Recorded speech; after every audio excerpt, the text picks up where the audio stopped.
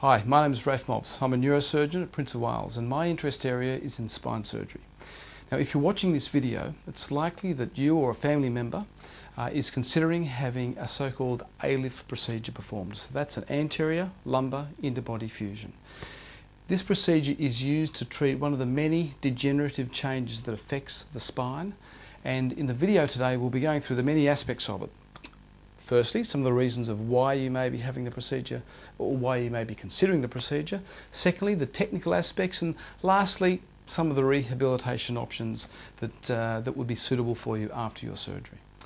Okay, so let's have a look at the spine in a bit more detail. So your spine is made up of about 25 or so bones, from your head to your pelvis. Now, for this procedure, we're focusing on the lower aspect of the spine, the so-called lumbar area.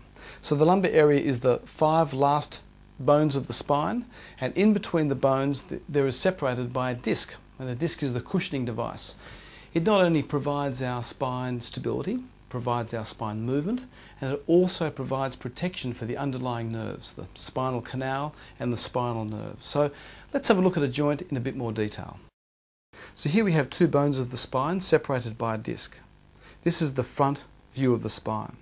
The back view of the spine we can see that there are these small stabilizing joints and we call these facet joints. So for every one joint in the spine it's actually made up of three articulations.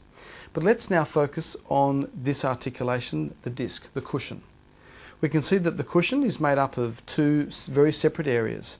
The outer part of the disc, called the annulus, and the inner part of the disc, or the cushioning part of your disc, which is called the nucleus. This provides strength and stability.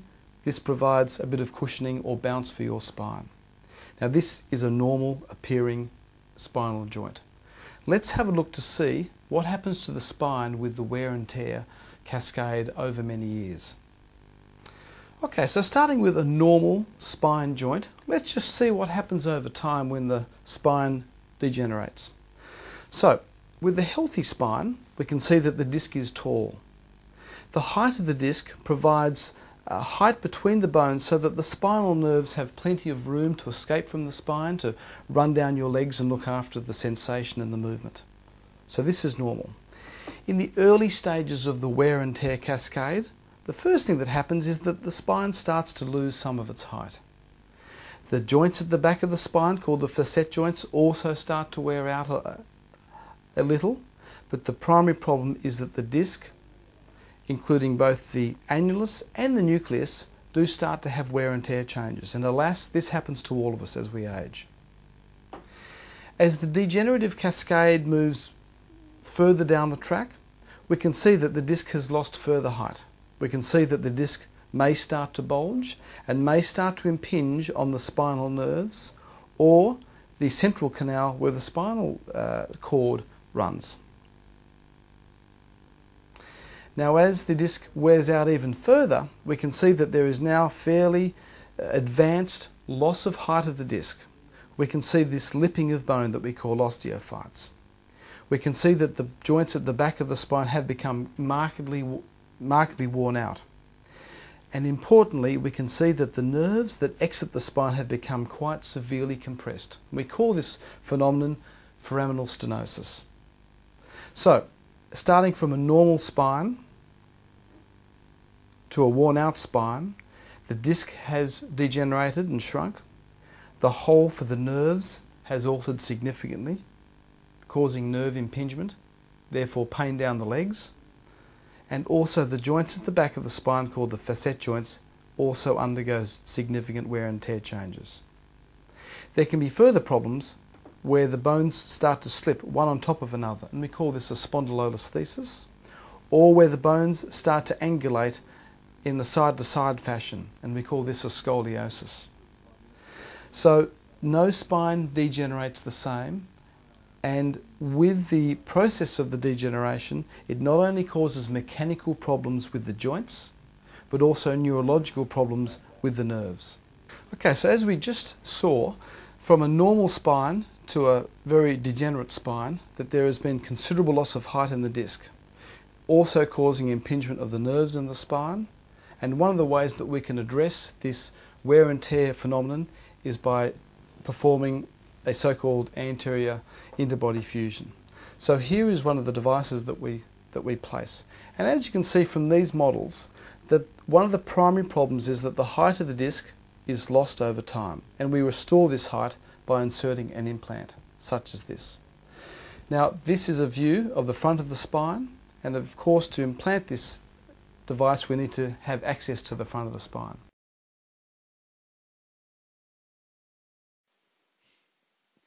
Here is an MRI scan of a 73 year old male who presents with back and leg pain. The upper three discs are in relatively good health, while the lower two discs demonstrate severe degeneration. This is the cause of his pain problems.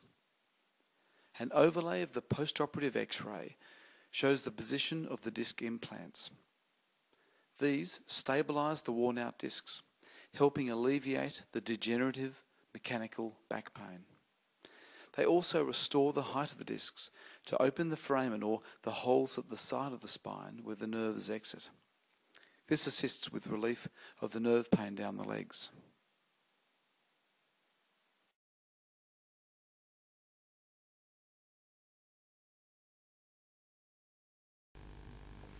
I'm Andrew Lennox. I'm a vascular surgeon. I operate with Dr. Mobbs uh, as part of the approach team uh, for the anterior lumbar interbody fusion procedures.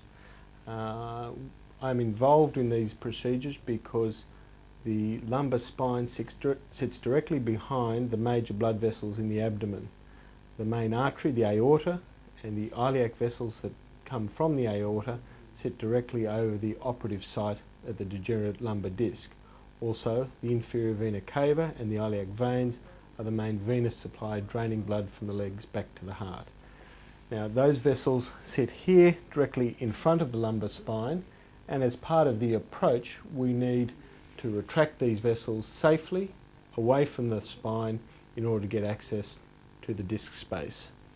This is done as an anterior approach or approach through the middle of the tummy uh, and uh, the intestinal cavity is retracted to the side in order to come down directly onto these vessels and the lumbar spine.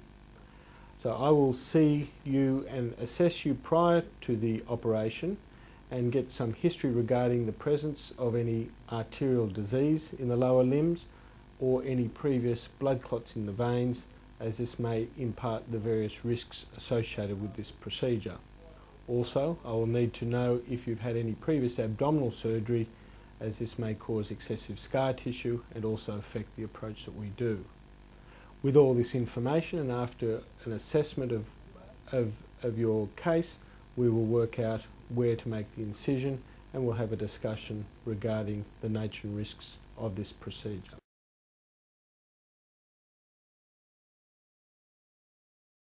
Your surgery may take several hours, then a period in recovery before returning to the ward.